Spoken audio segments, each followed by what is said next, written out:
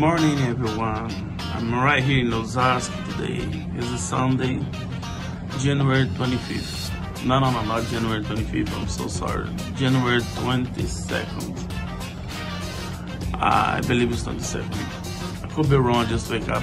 But uh, today I'm gonna go to, to São Paulo, watch the game Palmeiras in São Paulo.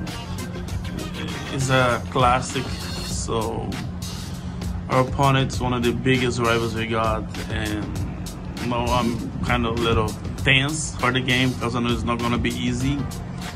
Uh, it's a big rivalry, both uh, from the city, so both from São Paulo. And I'm here in Osasco right now. Probably in a half an hour, I'm gonna take a shower, start getting ready to go to the game. I want to arrive early because today is gonna be. I know a lot of people in there and all the traffic jam and all the stops so it's gonna be hard to, to get access to the stadium.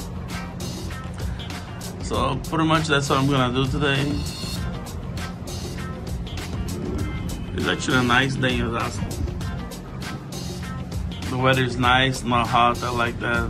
A little bit clouded, but some, there's some blue sky over here on this side. It's pretty much a nice day in Osasco today.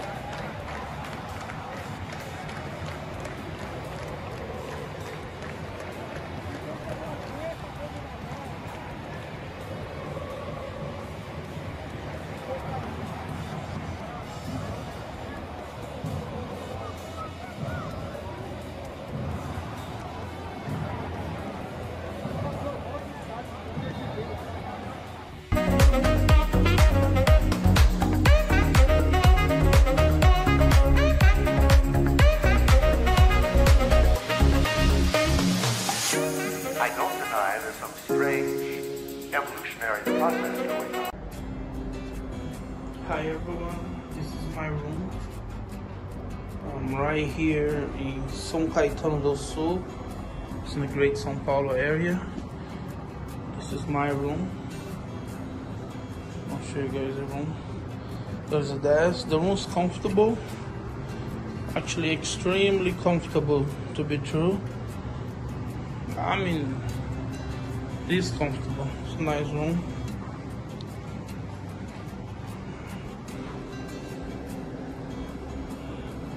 It is comfortable and it's a comfort hotel. So if, if you're in America, you already know it's a comfort hotel. It's a good hotel. They have some snacks here. So the fridge, Yeah, the fridge is packing and loaded. They have beer, they have water. I guess they have some soda here. Yep. Cola. Juices, coconut water. It's like a chocolate mixing. Yep. And then they have a safe. Comfort hotels always come safe, most of them. Um, their closet space. I love this. I have this just in America. Let's see. Let's see the bathroom. This is the bathroom. Nice and shiny. Everything clean and neat. I like it. Couple glasses on this side drink wine or something. This is more like for whiskey. Maybe Jack Daniel later. Um, yeah, the bathroom toilet looks looks neat. Looks neat. Yep. Uh, it's alright. It's nice and comfortable. Well, towers underneath. It was a nice room. But because the comfort and comfort is international hotel, guess what? This room here, and this is São Caetano do Sul, it's a great São Paulo area.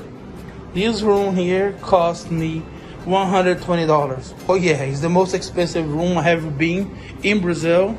No, not the most expensive in Brazil. I have been in a room more expensive. than This one, when I was in Chapada do Guimarães, I was in a room more expensive. than This one, but for the price that I'm paying for this, it's not worth it. No, it's not. Unfortunately, it's not. Because uh, the other hotels you see, it was better, more comfortable, and cheaper. This one is too expensive because comfort is international hotel everywhere in America. Everywhere in America, yeah, they charge more. But still, $120 is, is all right. It's not a big deal for for a hotel, but I don't think it's worth it. Especially here in Brazil, it's definitely not worth it that much. Not here in Brazil. Uh, let's see the window. Let's see the outside view. Okay. This is São Caetano do Sul. This city has less than 200,000 people living. I think it's 170,000. Uh, there's a lot of buildings in this area. These are residential buildings. There's a lot of them. I'm surprised actually. There's buildings right there in the back too. I believe that this is still São Caetano, maybe that's already São Paulo, I don't know. But those there are São Caetano. And this big thing here, you might wonder, what the heck is this, a stadium? No, it's a shopping mall.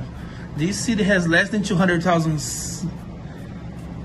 uh, residents, but they got a big shopping mall. Yeah, in the Great São Paulo area, they have a lot of big shopping mall. You see, the traffic's slow. It's like about 3.30 p.m., but it's clouded today. The traffic's slow and the infrastructure in the city is real nice. If you think about less than 200,000 people live here, look those buildings over there. I'm not sure that's still uh, Caetano, that could be Santo André, I'm not sure. Uh, there's some poor houses still here, if you zoom it. Uh, yeah. There's a thing here in green, I think this might be stadium. But there's another hotel over here, looks like hotel. Yeah, let me zoom in. Looks like a hotel. Looks nice. The infrastructure, the roads, look, the parking lot or the shopping mall is empty. Uh, of course, today is Monday, by the way. Uh, people's working, so yeah. There's a lot of buildings in the back. I think those buildings may be another city because São Caetano is not that big. And I'm on the 15th floor here, so I can have a big view. But those here in the front, next to the shopping mall, those definitely is São Caetano building. I like the roads here. The infrastructure is real nice and clean. Uh, the, the, traffic is there's almost no traffic. I, well, 200,000 people doesn't give you that much traffic. So yeah. But the first impression that I have with the city is my first time here. I like it, you know. Uh, for the size of the city, I'm surprised of the infrastructure, like a big mall like this in a city that's 200,000 That's not that common in Brazil. Uh, those buildings here, they're big and wide. I mean, there's no skyscrapers here, but there's a lot of tall buildings. And that surprised me as hell, because a small city usually have more houses, not tall buildings. And the infrastructure, the road and everything I'm seeing here, it, it surprised me a lot. Well, probably today I'm going to shopping mall. I'm gonna walk around the city a little bit. I'm not sure because it's almost 4 p.m. already. So very because it's the way it is right now, looks real dark. Let's see what I'm gonna do. I'm not sure yet, but probably gonna do something. Otherwise, I just go to shopping mall tonight, it's just across street. So yeah, I'll keep you guys posted. This is São Caetano do Sul, and I'm surprised with the infrastructure they have in here, the Great São Paulo area.